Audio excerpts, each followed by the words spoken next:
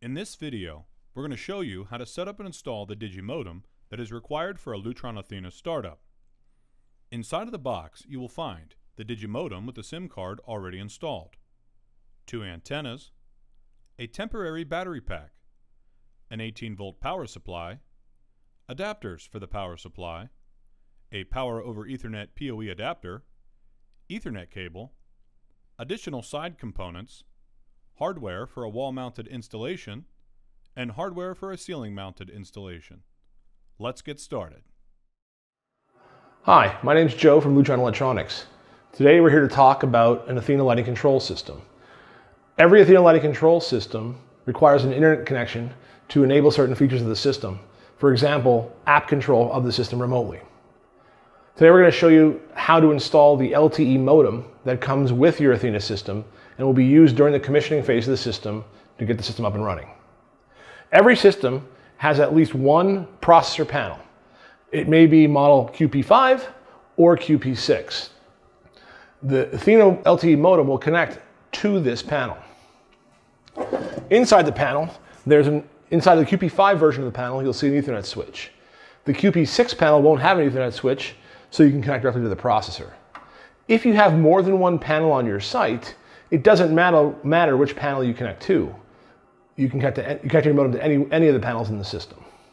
Your modem comes from Digi. It's shipped to you as part of a Lutron line item, but is manufactured by Digi Electronics. When you get your modem, the first thing you want to do is connect the two antennas that are packaged with the modem to the back of the modem. These are just going to screw in place, hand tight. We want to make sure they're secure.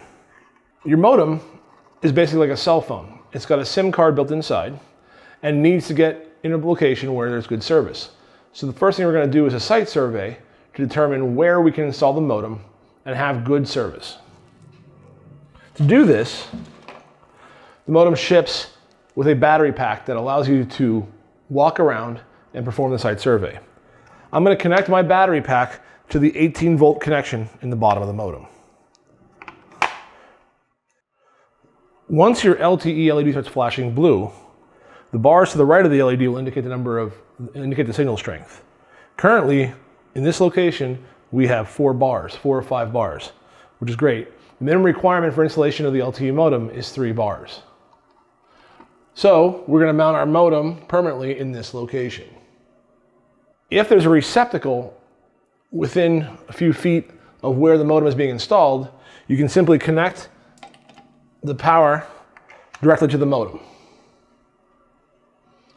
However, if there is no receptacle in the location where the modem is being installed, you can power the, the modem over the Ethernet cables.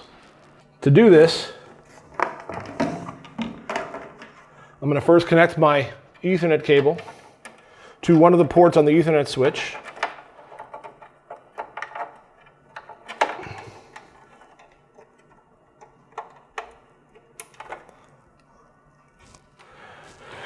And then I'm going to use the supplied power injector.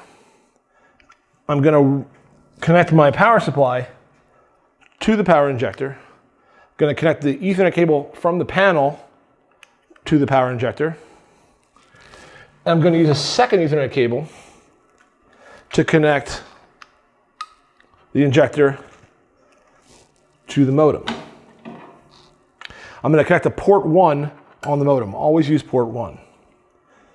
Now I'm powering the modem over the Ethernet cable. Remember that the modem must be within uh, 100 meters or 300 feet of the panel since that is the maximum length of any Ethernet cable. You can use a Cat5 or Cat6 Ethernet cable to connect, or better, to connect the panel to the modem. Since I have a receptacle in range, I'm just going to connect my power supply directly to my modem and mount my modem. There are two ways to mount your modem. Your modem comes with a plastic clip that can be mounted directly to a, to a surface.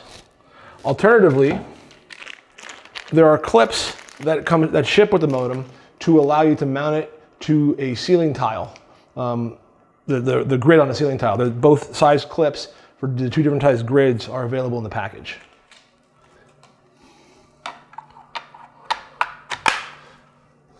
Once your modem is permanently installed and connected to your panel, there's a label that comes with the modem that you can mount on the back of the panel cover that tells you all of the information about the modem.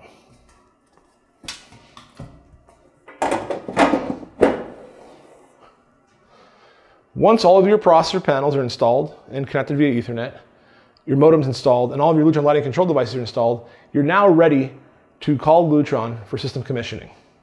If you have any questions, contact the Lutron's technical support line at 1-800-523-9466, and one of our agents will help you through this process.